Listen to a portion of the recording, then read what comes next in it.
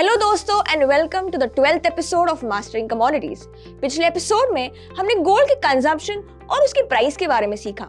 आज हम गोल्ड के क्या इंपॉर्टेंट फैक्टर्स होते हैं ये भी सीखेंगे with none other than mister Manav Modi who is a bullion analyst at Motilal Oswal welcome Manav to the twelfth episode of mastering commodity thank you Priya so so, शुरू करने से पहले आ, हम इक्विटी जब भी इक्विटी में invest करते हैं तो आ, हम उसमें बैलेंस शीट्स या रेशियोज पढ़ते हैं। तो कमोडिटी में इन्वेस्ट करने से पहले what factors do we utilize so I think you said it right कि हम इक्विटीज या स्टॉक्स में जब भी इन्वेस्ट करते हैं तो बहुत सारी चीज़ों को ध्यान में रखना पड़ता है। बैलेंस शीट देखते हैं मैनेजमेंट डिसीज़न कैसा है रेशियोज कैसे हैं।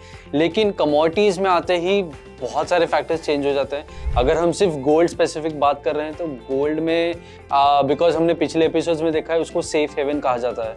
तो गोल्ड रिलेटेड बहुत सारे जो फैक्टर्स है जैसे मैक्रो इकोनॉमिक चेंजेस है। जैसे इन्फ्लेशन कैसा है?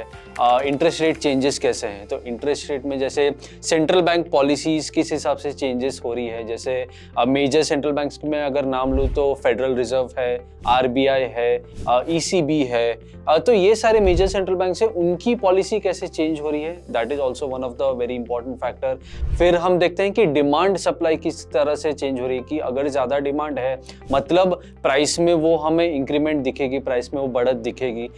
Then we also come to the geopolitical factors मतलब अगर कोई भी देश में डिस्ट्रेस है पैनिक है, या दो देशों में वॉर चल रहा है, जैसे हमने पिछले कुछ सालों में देखा है, जैसे रशिया यूक्रेन के बीच में हमने काफ़ी न्यूज़ सुनी है।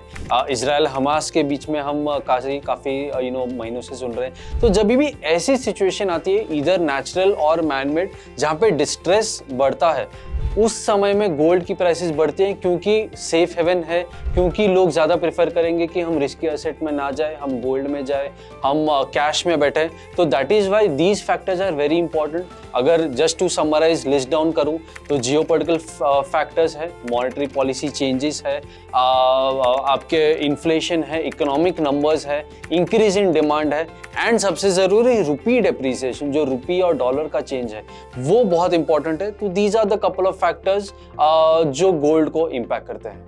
सो so, uh, मानव आपने ये लिस्ट डाउन करते वक्त दो इंपॉर्टेंट चीज़ें बताई थी। एक है इकोनॉमिक uh, डेटा और दूसरा है inflation so let us start with economic data economic data कैसे इम्पैक्ट करता है गोल्ड को?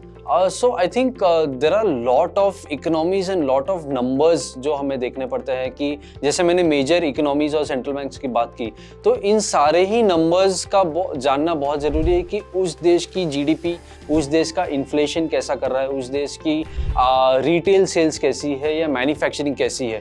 लेकिन अगर हम स्पेसिफिक कुछ कंट्रीज़ की बात कर ले, जैसे फॉर एग्जांपल यूएस तो यूएस में आई टेक एन एग्जांपल कि जॉब्स नंबर देखना बहुत ज़रूरी होता है कि उस देश में लेबर मार्केट अच्छा है या नहीं है जॉब्स में एडिशन हो रही है या नहीं हो रही। अगर जॉब एडिशन हो रही है मतलब कहीं ना कहीं उस देश में बढ़त आ रही है उस देश में ग्रोथ अच्छी है। तो there is an inverse correlation between gold and the economic numbers that come from the US majorly जब भी देश अच्छा कर रहा है uh, मैं ऐसा नहीं बोल रहा हूँ कि देश को अच्छा नहीं करना चाहिए लेकिन गोल्ड के मद्देनजर रखते हुए कि जब भी यूएस की जीडीपी या यूएस के जॉब्स या यूएस की हाउसिंग मार्केट्स अच्छी कर रही हैं या नंबर्स अच्छे आ रहे हैं मींस गोल्ड के ऊपर वो प्रेशर आएगा। लेकिन जैसे मैंने कहा डिस्ट्रेस है या फिर नंबर्स खराब आ रहे हैं तो गोल्ड में वो इंक्रीमेंट गोल्ड में वो प्राइसेस की बढ़त हमें आती हुई दिखेगी। हम सब महँगाई से तो बहुत ही ज़्यादा वाकिफ है। There is inflation is a talk of town so how does inflation affect gold so I think inflation कई सालों से जब से पैंडमिक से हम यू you नो know, गुजरे हैं तब से इन्फ्लेशन की बातें चल रही है। Uh, बहुत ही you uh, know you know, अभी भी बहुत ही चर्चित टॉपिक है because we are still fighting major central bank are still fighting towards it तो आई जस्ट वॉन्ट टू ले अ बेस के सिनारियो कि जब पैंडमिक शुरू हुआ था तब बहुत सेंट्रल बैंक्स ने लिक्विडिटी इन्फ्यूज की थी। मार्केट में बहुत पैसे uh, अपनी इकोनॉमी को सपोर्ट करने के लिए बहुत पैसे दिए थे। उस चक्कर में इन्फ्लेशन या महँगाई आ गई थी बिकॉज़ लोगों की परचेजिंग पावर इंक्रीज हो गई थी, लोगों के हाथ में बहुत पैसा आ गया था। अब उस इन्फ्लेशन को को कंट्रोल करने के लिए सेंट्रल बैंक्स ने इंटरेस्ट रेट को वापस बढ़ाना शुरू किया। लिक्विडिटी वापस सक करने की कोशिश की कि जितनी कम लिक्विडिटी होगी इन्फ्लेशन उतना कम होगा।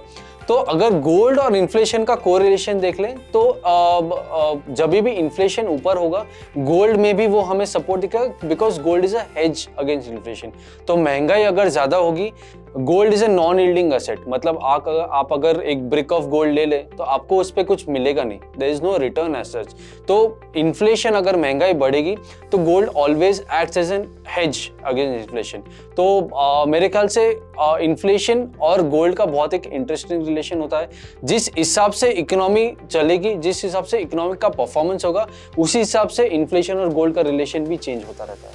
Thank you Manav so so, दोस्तों आज हमने सीखा कि ऐसे कौन से इंपॉर्टेंट फैक्टर्स हैं जो गोल्ड को अफेक्ट करते हैं और आने वाले एपिसोड में हम ये सीखेंगे कि what are the best possible ways to invest in gold so till then keep searching Motilal Oswal Investment in securities market are subject to market risks. Read all the related documents carefully before investing.